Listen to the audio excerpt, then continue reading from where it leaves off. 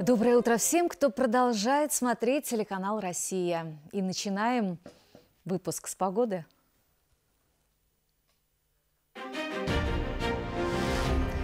Карачаево-Черкесии сегодня будет местами дождь, в горах с мокрым снегом, ветер юго-восточный 5-10 метров в секунду. Температура ночью 6-11, днем 12-17. В горах уже минус 1, ночью будет плюс 4, днем 3-8. Черкеске сегодня днем дождь, ветер юго-восточный 5-10 метров в секунду. Температура ночью 9-11, а днем 15-17 градусов тепла.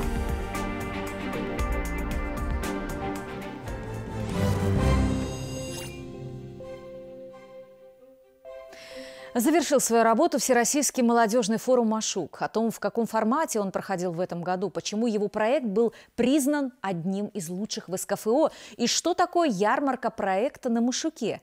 На эти вопросы в эти минуты в нашей студии ответит участник форума и мой коллега Руслан Жукаев. С ним встретилась Белла Джазаева. Доброе утро всем. Доброе утро, Руслан. Доброе утро. Я благодарю тебя за то, что ты нашел время, пришел сегодня к нам в студию, в утреннюю, а то мы тебя всегда наблюдаем, вернее, зрители наблюдают тебя в другое время суток. Руслан завершил свою работу э, традиционный Всероссийский молодежный форум «Машук». Ты уже четвертый раз принимал в нем участие. И надо сказать, что твой проект, уже реализованный проект, был признан одним из лучших на в СКФО. Мне бы, конечно, для начала хотелось бы узнать поподробнее, что это за проект. Еще раз спасибо, что позвали в гости. Мне очень приятно, что мою деятельность за стенами моей официальной работы наблюдают и оценивают э, на таком уровне. Проект называется IT-волонтеры. Это э, грант, проект грантообладатель 2018 года. Э, в 2019 году мы его реализовали. Он направлен на создание волонтерского движения в сфере информационных технологий. То есть мы привлекаем молодых специалистов, э, проще говоря, программистов, угу, там, угу. дизайнеров, угу. вот все, кто относится к этой сфере, в сферу волонтерства, чтобы они работая, развиваясь, там, угу. получая профориентацию, опыт, помогали остальным. Основной, а, основной направле, основным направлением, которое мы хотели тогда а, охватить, это были благотворительные фонды на территории Карачаево-Черкесской республики.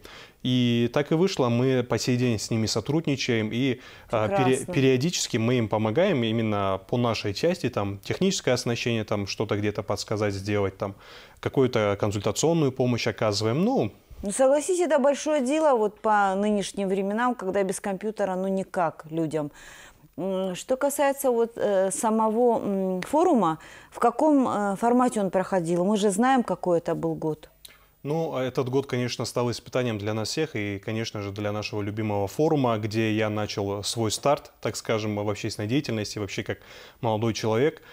А, форум в этом году проходил в две смены, а, три смены, точнее, проходили онлайн, и четвертая смена прошла в режиме офлайн угу. формата. То угу. есть мы поехали на поляну, но было ограничение по количеству людей. 300 человек из всех субъектов СКФО, в том числе и России, угу. участвовали на данном форуме. Ну, конечно же, э, мы проходили все тесты, угу. и вот, э, чтобы безопасно это все провести, вот организаторы вот таким образом нас отбирали угу, и, конечно, провели угу. форум на высшем уровне, на мой Руслан, взгляд. скажи, пожалуйста, что такое ярмарка проектов на Машуке?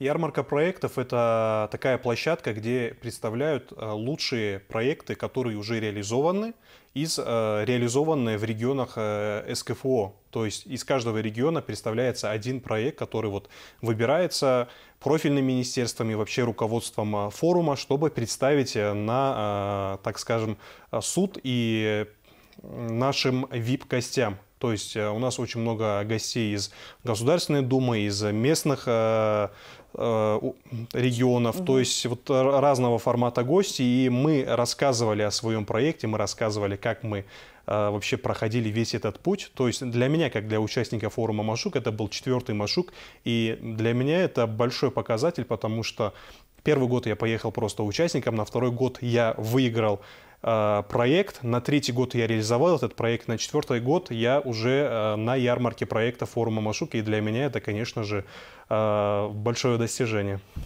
Я думаю, все твои достижения еще впереди. Я желаю тебе только успехов и спасибо, что был гостем программы. Спасибо огромное Спасибо. вам. Новый информационный день продолжает свое вещание на телеканале «Россия-1». Ровно в 9 смотрите программы «Нагайская редакция», в 14.30 «Вести» с Аллой Динаевой.